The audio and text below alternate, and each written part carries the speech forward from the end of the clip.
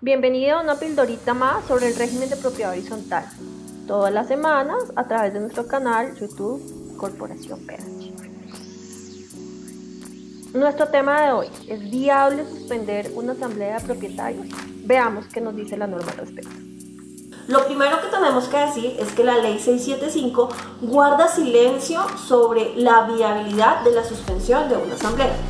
Por eso es que algunas personas se remiten al Código de Comercio donde hay un artículo, el 430, que nos indica sobre la viabilidad de la suspensión de las asambleas de socios.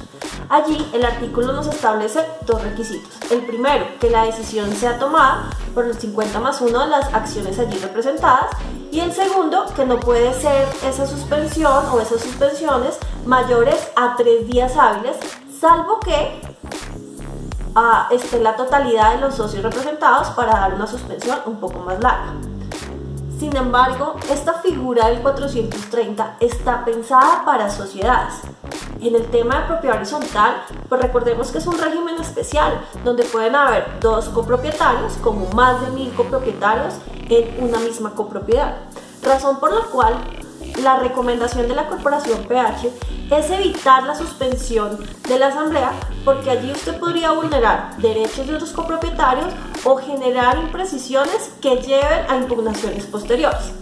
Si su asamblea se dilata, si no pueden tomar decisiones eh, importantes que están dentro del orden del día, lo mejor es que tome las decisiones que a bien tengan esa reunión y las que quedaron por tomar las realice en otra asamblea. Convoque nuevamente con el lleno de requisitos y surta aquellos puntos en los cuales no fue posible tomar o llegar a una decisión. Si ya no está el número de copropietarios que pueden significar el 50 más 1 de los coeficientes allí representados, hablar de una asamblea de primera convocatoria, pues no les dable suspenderla en la medida que no cuenta con el quórum necesario para tomar la decisión de la suspensión. Recuerden que el artículo 430 habla que pueden tomar la decisión el 50 más 1 de los accionistas allí representados para el caso de propiedad horizontal de los coeficientes allí representados. Eh, si quieres leer más sobre este tema, te vamos a dejar en la cajita de información un enlace que te permitirá profundizar. Recuerda entonces seguir nuestras redes sociales, eh, Corporación PH, y además suscribirte a nuestro canal. Suscríbete y activa la campanita de notificaciones para que puedas conocer todo lo que estamos haciendo sobre el régimen de propiedad horizontal desde la Corporación PH. Nos vemos en un próximo capítulo. Les mandamos un besito y que tengan una feliz semana.